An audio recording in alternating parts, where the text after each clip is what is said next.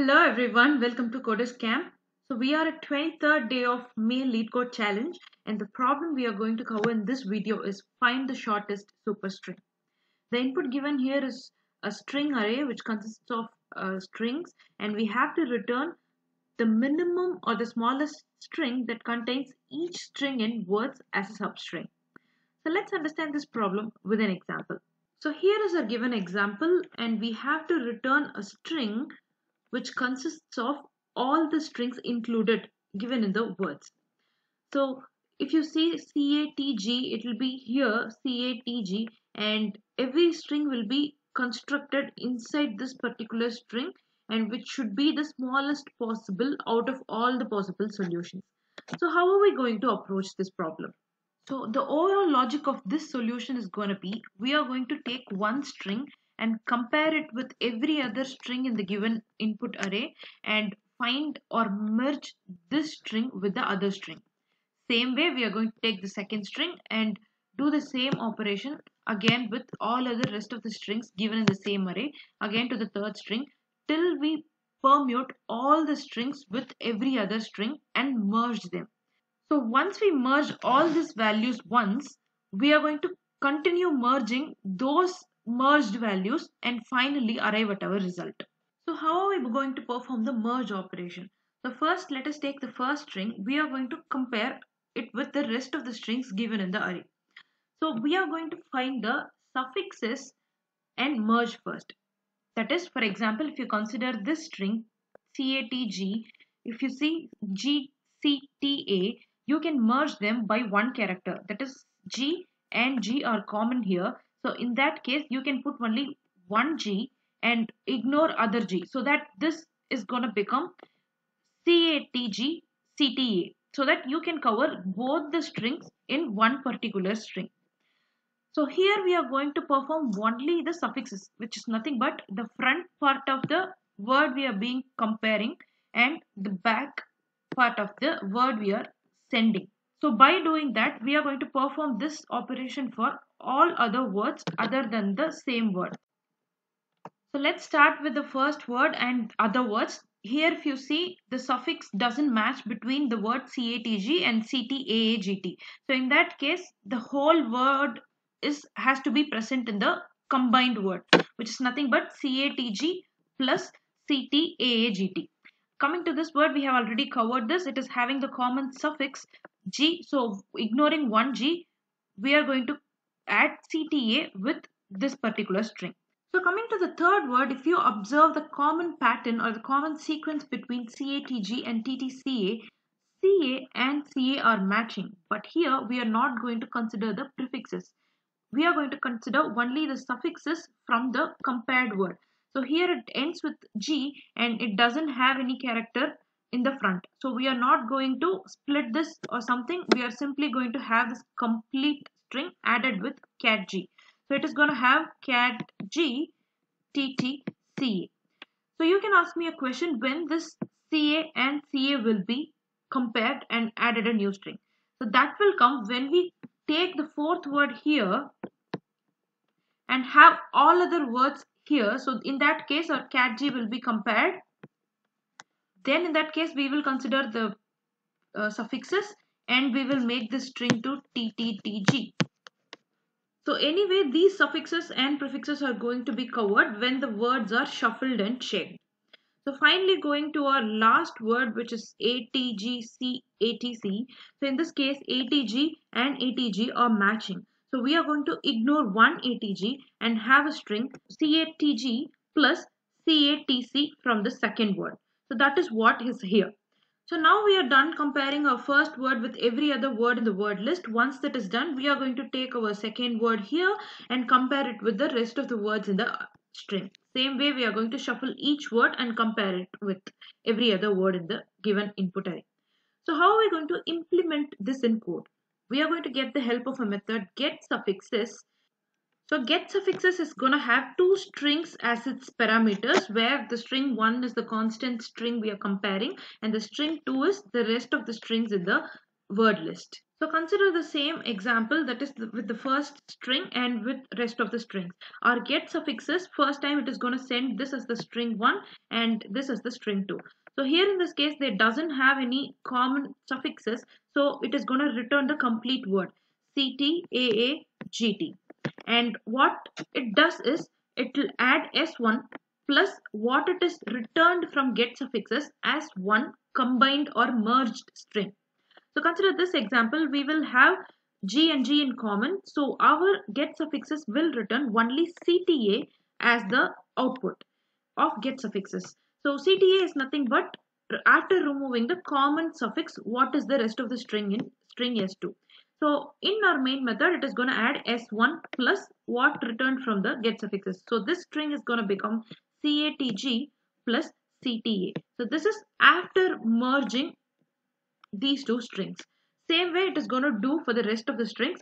Again, same way by comparing every string with every other string, our get suffixes is going to do this merge operation. So to help us do this, we are going to have a two-dimensional array memoization. So this memoization is nothing but representing the first S1 and S2. So what is the string returned from get suffixes after removing the common prefixes. So this is going to have CTA for this particular combination. And we will combine S1 plus this CTA to have our merged string. So this is the first step in our problem. So once we find all the combinations, we need a data structure to store them. So we are going to get the help of HashMap where we are going to save the key value pair. Here the values are nothing but the merged strings we found. So here in this example, consider this particular combination where we compared string 1 with 2, 3, 4 and 5th string in the given word list. So consider the combination 1 and 3. So here G is the common suffix. We are going to consider only one G. So the merged string of this category is going to be CAT GCTA. So we know the value is going to be this. So how do we put the key here? That is we combined word 1 and word 3 or we combined word 1 and word 5. To do that, we are going to get the help of bitwise. So for example, here are, there are 5 words 1, 2, 3, 4, 5. So if we consider word 1 and word 2, then we are going to represent it in the binary form of 1, 1, 0, 0, 0. So this is nothing but these three strings are not considered. Wherever there is a 1, those strings are considered. Again, if suppose we are considering the string 1 and string 5 then we are going to have 1 at the first place and 1 at the fifth place which is nothing but we are considering the string 1 and string 5. So how do we instruct our code to form that binary number? We are going to get the help of this formula where we do a left shift by j and k. j and k is nothing but the second string and third string or whatever the number of the string we are performing. So once we do a left shift to 1 and an OR operation, we are going to get a binary number and then we are going to convert that to an integer and store that here as our key. For example, if we are going to perform this operation for the strings 1 and 3, so this is the merge string we get. So that is going to be our value and the j and k are 1 and 3 respectively. So we are going to do a 1 shift to 1. So in that case, the binary number is going to look like 0010 after one shift of 1. And same way, we are going to do 3 times shift to 1. So if we do a 3 times shift, the number is going to become 1000. So we are going to perform an OR operation. If we perform OR operation, wherever there is a 1, the answer is going to have 1. So this number is going to become 0101.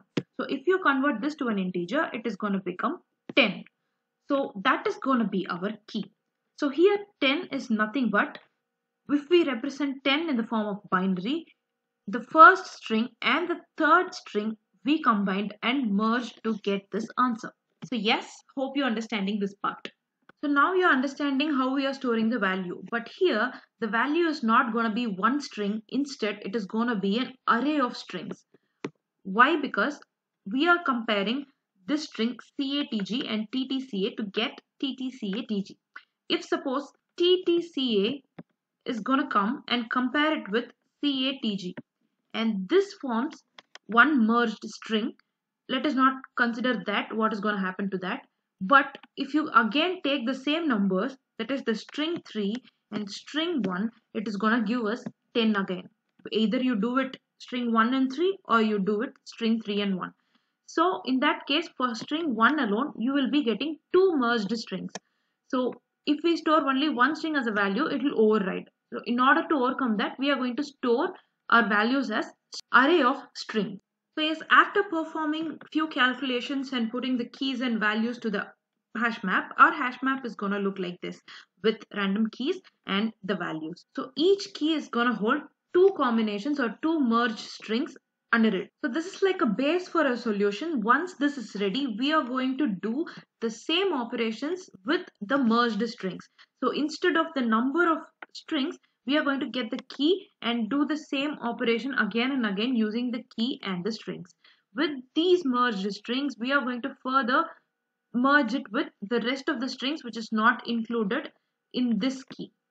So after performing, still more values going to be added to this hash map until we merge all the strings given in the input. So once we merge all the strings, I said if you consider one and two words for merging then it is going to represent as 11000 if we merge all the strings then that is going to represent it as 11111 all ones because we have considered all the strings our hash map is actually going to have more values. Here i'm giving only few values for understanding this solution.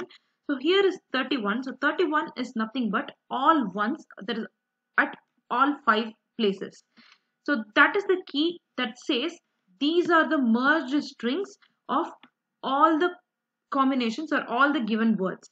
So this is one of the strings in this list is going to be our output. So we have asked to return the smallest of all possible solutions. So we are going to iterate this particular list and whichever is the shortest string, we are going to return that. So if you see the last string GCTA starts with GCTA is going to be our output and we are going to return that. So how do we find we have our output at this number? So which is nothing but if we have the length of the given words array which is 5. So we are going to perform a one shift 5. 5 is nothing but length of the given word list. So if we perform 5 shift then the number is going to become 1 0 0 0 0.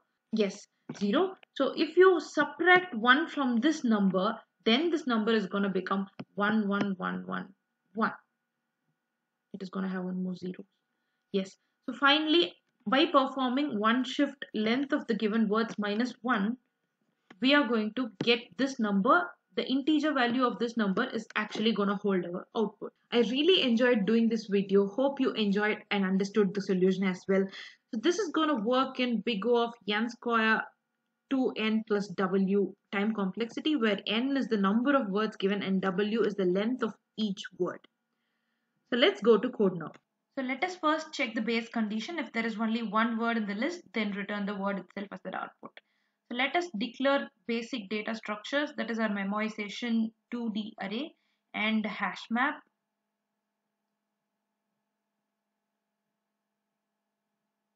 And I'm going to iterate my strings, that is each and other combination.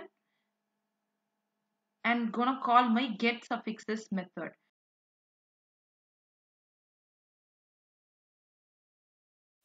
So let us write our get suffixes method first. This will actually return the string true after removing the common sequence from the string 1 and string 2 and that will be stored in our memoization 2D array.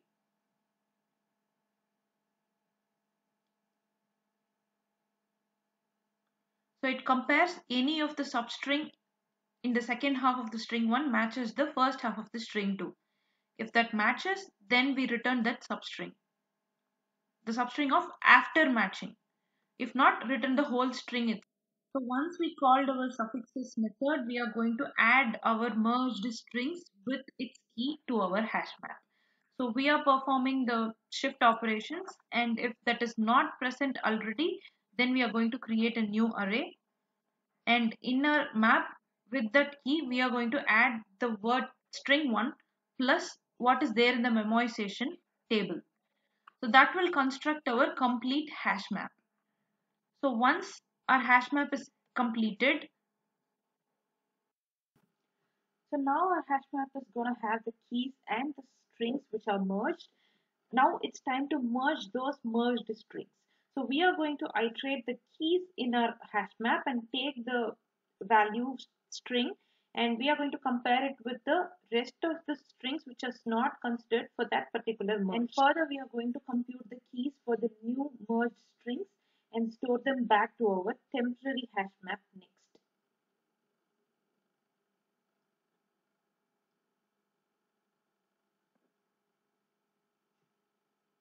So every time we compare the newly merged string with the other strings and compute the new merged strings.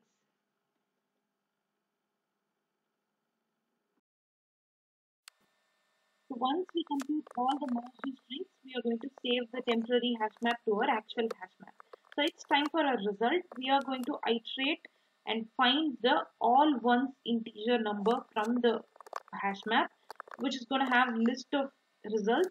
From that, we are going to take the shortest string. So here we are iterating to check if there is a shortest string in the list, then we are assigning that to a result and return it. So let's run and try.